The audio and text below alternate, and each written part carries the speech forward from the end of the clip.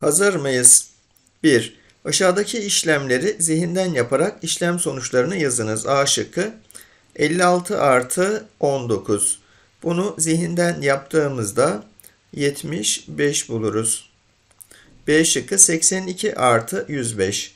Bunu zihinden yaptığımızda 97 buluruz.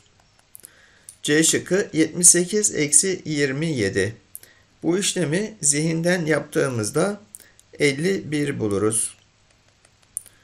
C şıkkı 57 eksi 14. Bu işlemi zihinden yaptığımızda 43 buluruz.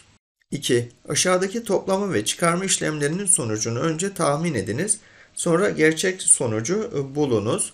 Tahmini sonuçlarınızla gerçek sonuçlarınızı karşılaştırınız. Tahmin ederken izlediğiniz yolları arkadaşlarınızla paylaşınız. Şimdi en yakın onluğa yuvarlayalım. 175, 180 olur. 88 de 90 olur. Topladığımızda 270 buluruz. Gerçek sonucu bulalım. 175 ile 88'i toplayalım. 5, 8 daha 13. 13'ün 3'ü elde var. 1, 1, 7 ve 8'i topladığımızda 16. 16'nın 6'sı elde var. 1, 263 oldu. Aradaki fark ise 270'ten 263'ü çıkarırsak 7'dir. Evet, B şıkkını yapalım. E, 716'yı en yakın onluğa yuvarladığımızda 720 olur. 374 ise 370 olur. Toplayalım. 0, 9, 10. 1090 çıktı. Şimdi e, işlemin gerçek sonucunu bulalım. 716 ile 374. Burası 10 yapar. Onun sıfırı elde var 1. Burası 9 yapar. Burası da 10 yapar. Evet aradaki fark ise bu sefer 0 çıktı. Yani tahminimizle işlemin sonucu birbirine eşit olduğu için. C şıkkı 871 eksi 372. Şimdi e, onluğa yuvarlayalım. 870.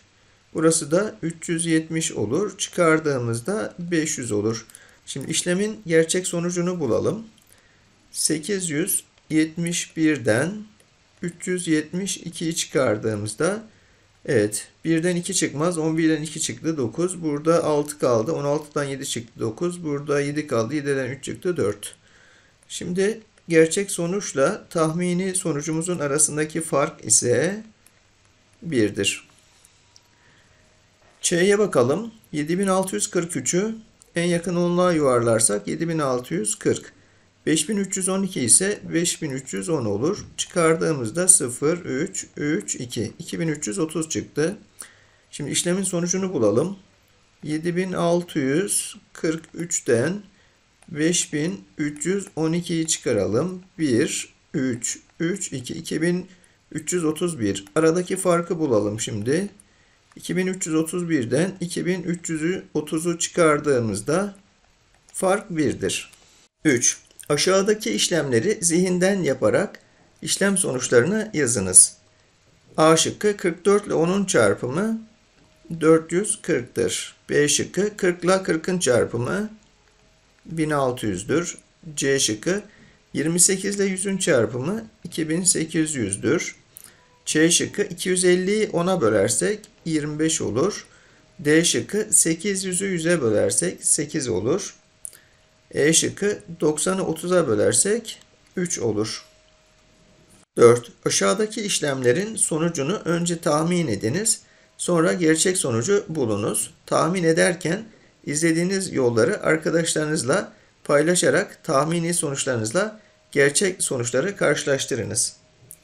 Evet. A şıkkı. Şimdi e, 475 bu dursun. 475. Bunu e, 10 ile çarpalım. Evet 10 ile çarparsak 4750 olur. Bu tahmini sonucumuz. 9'u 10'a yuvarladık. Şimdi işlemin gerçek sonucunu bulalım. 475 ile 9'u çarpıyorum. 9 kere 5 45 elde var 4. 9 kere 7 e, 63. 4 daha 67 elde var 6. 9 kere 4 36. 6 daha 42. Evet aradaki farkı bulalım. 4750'den e, 4275'i çıkaralım. Evet burası 5 olur. Burası 7 olur. Burası da 4 olur. Aradaki fark 475'tir. B şıkkı 24 ile 55'in çarpımı. B şıkkı 24 çarpı 55. 24'ü 20'ye, 55'i de 60'a yuvarlarsak bu işlemin sonucu 1200 olur. Şimdi gerçek sonucu bulalım. 55 ile 24'ü çarpalım. 4 kere 5 20. 20'nin 0 elde var 2. 4 kere 5 20. 2 de elde 22. 2 kere 5 10. Onun 0 elde var 1. 2 kere 5 10.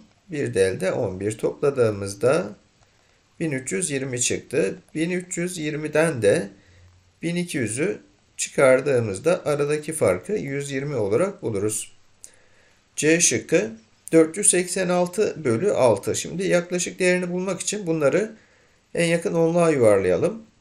E, 486 490 olur. 6'yı da 10'a yuvarlarsak yaklaşık sonucumuz 49 çıktı. Yani tahmini sonuç. Şimdi gerçek sonucu bulalım. 486'yı 6'ya bölelim. Evet 48'in içerisinde 6 8 kere 6 kere 8 48 6'nın içerisinde 1 kere. Evet 81 bulduk gerçek sonucu. Aradaki fark ise 32'dir. Ç şıkkını yapalım. 384 bölü 24. Şimdi 384 en yakın onluğa yuvarladığımızda 380 olur. 24'ü de en yakın onluğa yuvarladığımızda 20 olur. 380'i 20'ye böldüğümüzde 19 buluruz. Bu tahmini sonuç. Şimdi gerçek sonucu bulalım. 384'ü 24'e bölelim. 38'in içerisinde 24 bir keredir. 1 kere 24 24. Evet burası 14 olur. 4'ü indiririz. 144'ün içerisinde 24 6 keredir. 6 kere 24 144. Gerçek sonuç 16'dır. Aradaki fark ise 3'tür. 5. Bir depodaki 1567 litre suyun sulama için 234 ve yangın söndürmek için 1089 litresi kullanılmıştır. Buna göre depoda kaç litre su kalmıştır? Şimdi kullanılan kısım 234 ve 1089. Bunları bir toplayalım. Burası 13'ün 3'ü elde var 1. Burası 12'nin 2'si elde var 1. Burası 3. Burası 1. Evet 1567'den de 1323'ü çıkaralım. Burası 4 olur. Burası da 4. Burası da 2 olur. Depoda 244 litre su kalmıştır. 6. Ece 60 gün boyunca günde 12 sayfa okuyarak bir kitabı bitirmiştir. Ece bu kitabı günde 40 sayfa okusaydı kaç günde bitirirdi? Şimdi kitabın tamamı kaç sayfa onu bulalım. 60'ta 12'yi çarpalım. Evet bu işlemi yaptığımızda 720 buluruz. Eğer günlük 40 sayfa okumuş olsaydı bu sefer 720'yi 40'a böleceğiz. Evet 1 kere 40 40 32 kalır. Sıfıra indiririz. 320'nin içerisinde 48 keredir. Evet 8 kere 40 da 320 oluyor. Ee, demek ki günde 40 sayfa okusaymış 18 günde bitirirmiş.